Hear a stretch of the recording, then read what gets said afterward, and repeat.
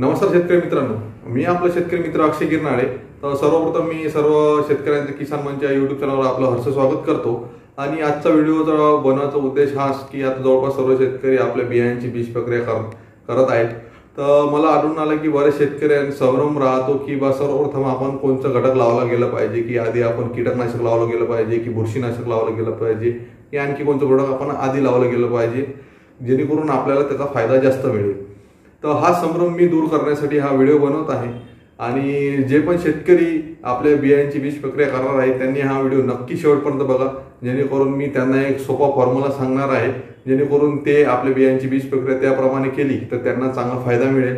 आणि जे शेतकरी माझ्या युट्यूब चॅनलवर नवीन असतील त्यांनी माझं युट्यूब चॅनल सबस्क्राईब करा. तर चालू करू. तर जे पण सर्व शेतकरी आपल्या बियांना बीज प्रक्रिया करणार आहे त्यांना मी एक फॉर्म्युला सांगणार आहे की त्याप्रमाणे जर का आपण बियांना बीज प्रक्रिया केली तर त्याचा आपल्याला चांगल्या प्रमाणात फायदा होऊ शकतो. तर तो फॉर्म्युला सर्व शेतकऱ्यांनी लक्षात ठेवा. तो लक्षात आहे म्हणजे एफ आय आणि आर तर आता याप्रमाणे आपल्याला बियांना बीज प्रक्रिया करायची आहे. तर मी तुम्हाला त्याच्यामध्ये सांगतो की एफ म्हणजे काय आहे? तर एफ म्हणजे आपण फंजीसाईड फंजीसाईड म्हणजे जे येते ते किंवा बुरशीनाशक. आपण जे पण बियांना औषध लावणार त्यामध्ये आपल्याला सर्वप्रथम बुरशीनाशकची बीज प्रक्रिया करायची आहे.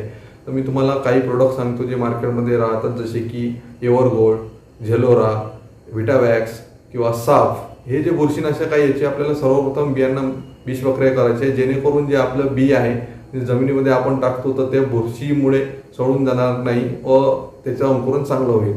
तर हे झालं एक क्रमांक. आता बुरशीनाशक लावल्यानंतर आपल्याला दुसरं म्हणजे जो आय आहे त्याचे म्हणजे आपल्याला इन्सेक्टिसाईड इन्सेक्टिसाईड म्हणजे आपलं कीटकनाशक. जे कीटकनाशक आपल्याला दुसऱ्या क्रमांकाला बीज प्रक्रिया करायची आहे. जेणेकरून काय होणार की जे पण आपला बियाला किडींपासून संरक्षण मिळेल. जसं की जमिनीमध्ये असणारे कीटक किंवा रस्सशो कीड कीटकांपासून आपल्या बिया रोपांची सुरक्षा होऊन जाईल. तर हे झालं दुसऱ्या क्रमांकाचं. आणि तिसरा म्हणजे जो आर आहे तर आरमध्ये आपल्याला जे रेग्युलेटर म्हणतो किंवा जैविक घटक जसे की रायझोबियम झालं पी एच बी झालं किंवा ट्रायकोडर्मा झालं याची आपल्याला बीज प्रक्रिया करायची आहे. जेणेकरून काय होईल झाडांच्या सुरुवातीच्या वाढीसाठी जे चांगले लागणारे घटक आहेत ते या माध्यमातून त्यांना मिळून जाईल.